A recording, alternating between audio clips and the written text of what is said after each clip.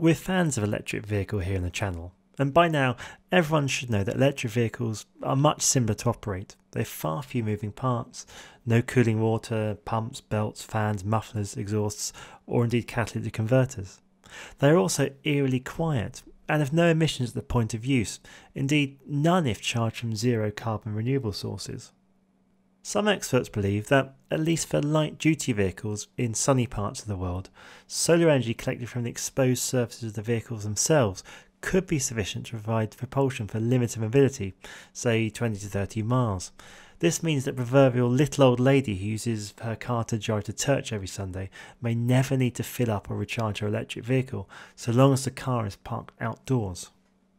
As reported in Energy Post in late October 2017, the notion of solar cars is not as far fetched as it might have once seemed. David Hone, Shell's climate change advisor, believes that solar augmentation, for example in the form of solar roofs, may become widespread by 2030. As we talked about in an earlier video, and the link appearing now on screen, Tesla's home storage and the recent moves by IKEA to enter the domestic storage space clearly indicates there's an appetite for consumers to take ownership of their power generation.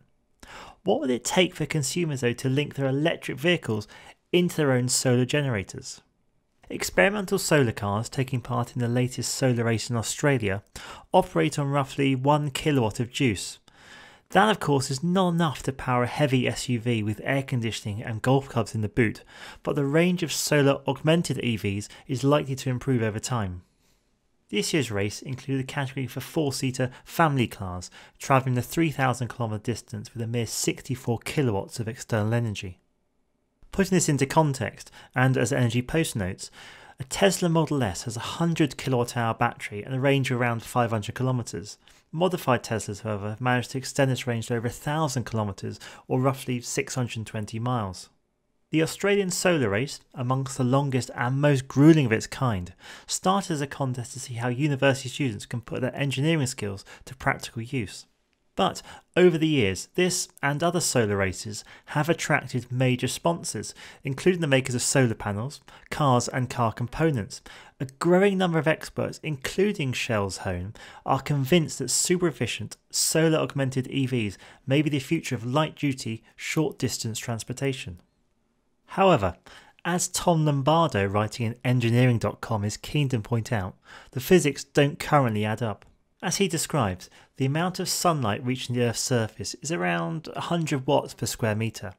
Given the surface area of a car, and being a generous 100% efficiency, the electric vehicle covered in solar panels could absorb around 4 to 5,000 watts of solar power.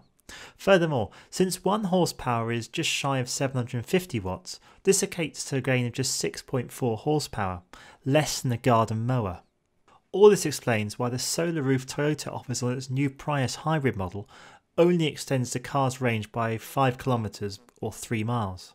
Whilst this might not sound much, given advances in technology, solar augmentation could be sufficient in the future to meet the needs of ultralight and super efficient cars offering a range of 50 kilometers or 30 miles per day. Certainly more than enough for our little old lady to get to church every Sunday. Such cars can become part of a wider generation network during the summer months, assuming they are parked outdoors in sunny parts of the world, but may have to juice up from time to time during the winter months, cloudy periods, or when extended range or heavy lifting is required. Of course, the numbers are also affected by location, the vehicle's weight, and accessories such as air conditioning.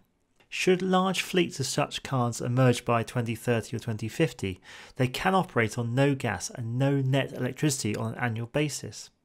Their excess generation during summer months would offset the shortfall in the winter. Our next cars will not be entirely solar powered, I think that's clear.